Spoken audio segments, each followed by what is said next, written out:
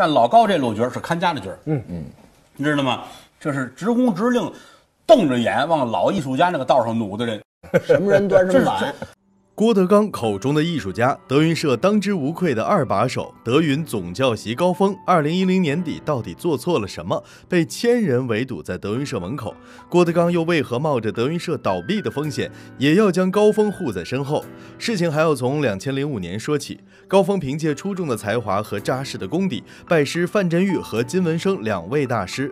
两位老前辈都十分看重高峰，曾多次向郭德纲举荐。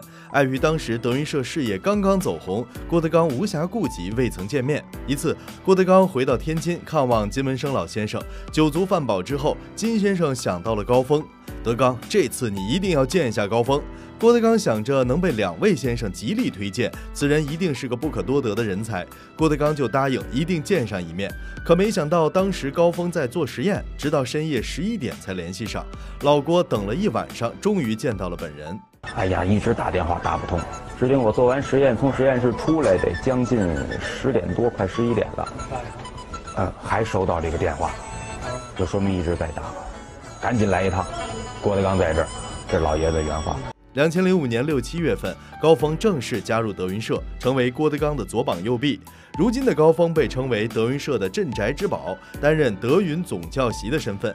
栾云平、岳云鹏、张云雷、秦霄贤等人都曾跟高峰学习过相声。这么多年，他从来不争不抢，为郭德纲做最坚实的后盾。郭德纲曾评价高峰。他一本书一天能背一百多遍，你说这是正常人吗？高峰简直能用惊为天人来形容。而老郭当初也万万没想到，高峰以一己之力挽救德云社危机，一战封神。大师是我们后台最用功的演员，用功，嗯，勤奋刻苦。他背什么地理图，一天能背一百遍，你说这是正常人吗？哎，就那一天，这玩意儿，哎，对，一天就够了啊。此刻的老郭怎么也想不到，让他等了一夜的高峰会成为德云社的恩人。两千零五年十一月五日傍晚，德云社在天津的首场演出即将开始。这次专场堪称老郭衣锦还乡之作，更是为了德云社在相声界站稳脚跟。为了这场演出，老郭费尽心血，倾尽德云社之力。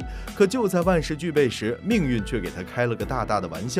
演出当天，京津两地突降大雾。德云社全员被困在高速之上，原本制定好的计划全部打乱，老郭心急如焚，寸步难行。眼看着还有两个小时就要开场，就在这个危急关头，郭德纲一把拉住高峰：“高峰，你快换上大褂，帮我救下场。”高峰毫不犹豫登台演出，这场西征梦说了半个多小时，台下掌声不断。对西征梦一句都不会的高峰，竟将这个段子捧得滴水不漏。就这样，高峰忙捧西征梦，一战封神，成功挽救德云社的危机。这一刻，老郭终于明白，范振钰、金文生两位先生送给他的究竟是怎样的一块美玉。西征梦即将结束时，德云众弟子赶到天津大剧院。老郭悬着的一颗心终于放下。加入德云社之后，高峰从没让郭德纲失望过。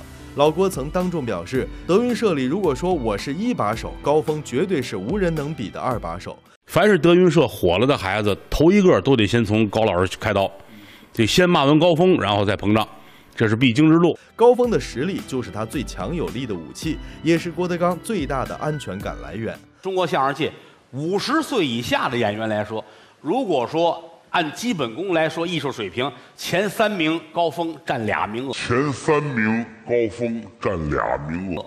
郭德纲给出如此高度评价的高峰，怎么都没想到砸挂会给自己惹上大麻烦，甚至险些连累德云社关门大吉。在德云社的十七年时间里，这是高峰唯一一次严重翻车。时间回到二零一零年二月十七日，这天，郭德纲带领德云社众弟子在天津体育馆内演出，高峰搭档栾云平表演，不说相声，说足球。里面有一小段是砸挂国足的。凭什么那冠军是北京国安队？咱抛开其他的，你说什么假球啊，什么内定啊，这咱都不谈。至少赢得很侥幸哦，这是史上分数最低的一个冠军。德云社以外不是没有说过关于国足的相声段子，甚至在很多小剧场砸挂国足反而效果特别不错。可包括郭德纲在内，没有人想到高峰砸挂会出现这样的结果。